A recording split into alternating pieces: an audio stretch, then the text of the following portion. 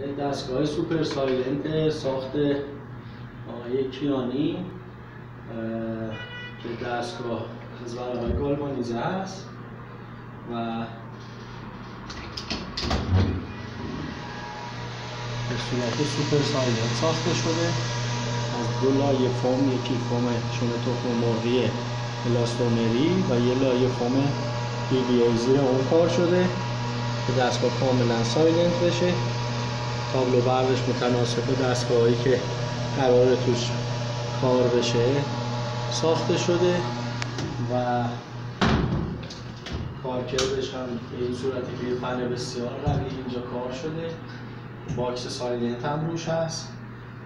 این فن هوا رو مکش می‌کنه به سمت بالا. از زیر اینجا هوا وارد دستگاه میشه.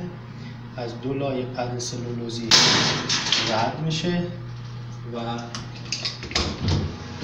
وارد این اتاق سرد میشه. بعد از این به وسیله این پارتیشن اتاق سرد گرم جدا شده از هم. فن های دستگاه ها هوای گرم رو به اتاق گرم میگه و از اون بالا هم مکش میشه و به بیرون پرتاب میشه.